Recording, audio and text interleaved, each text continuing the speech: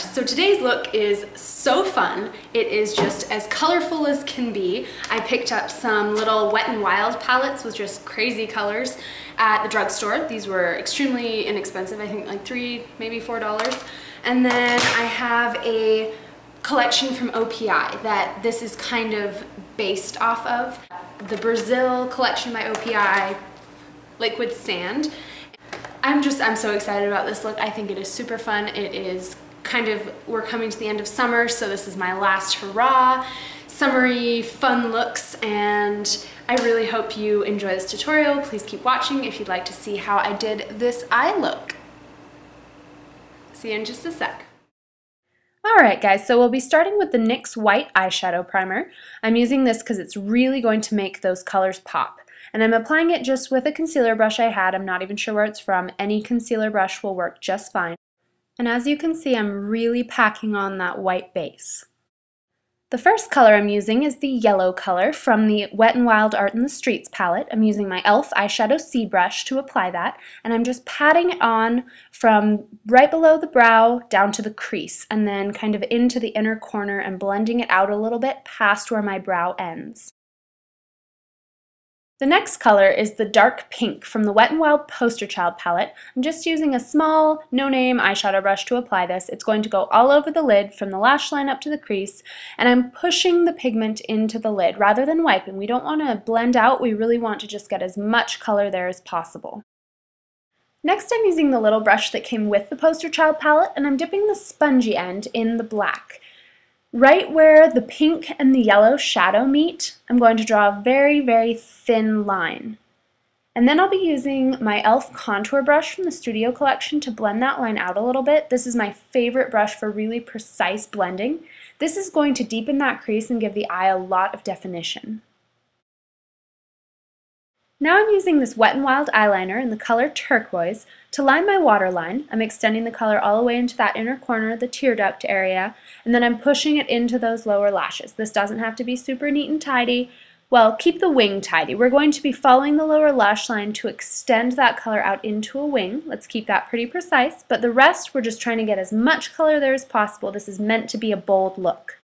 Now I'm taking my very favorite eyeliner, the L'Oreal Lacquer Liner in Black is Black and an e.l.f. small angled brush to create another wing right above that turquoise wing. I'm starting on the outer corner the way I normally would, following the lower lash line, except this wing is going to be right above the line of the turquoise wing.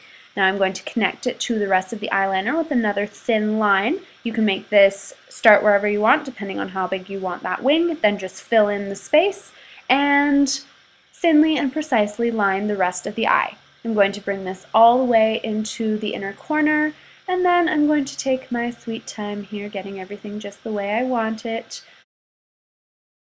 Now I'm using that NYX white eyeshadow base again and with the same concealer brush that I applied it with the first time I'm going to draw a very thin line right underneath the brow to highlight.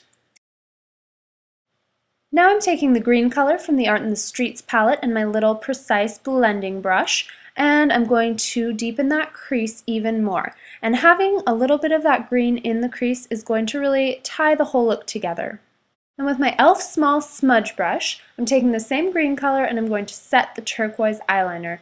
This is going to make that color so much more vibrant and it will help it stay put if this is something you're going to be wearing for a long time.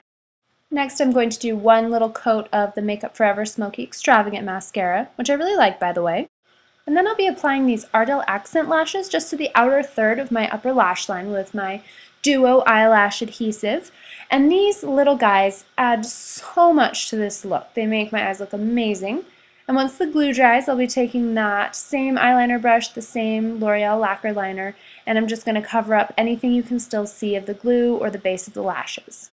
Then we're on to our last step. We're just going to apply one more coat of the Makeup Forever Smoky Extravagant Mascara to tie everything together, blend all the natural lashes with the accent lashes, and finish off those bottom lashes. And here you have a finished look. We have got so much color going on. This is such a great summery, fun, crazy look, and I really hope you enjoyed it. For the second part of this tutorial, I'll be using all colors from the OPI Liquid Sand Brazil collection. I found that to get these colors to really pop, it helped to have a layer of plain white polish down first. So that is what I'm going to start with. Please enjoy part two. Easy, but it's harder when there's two.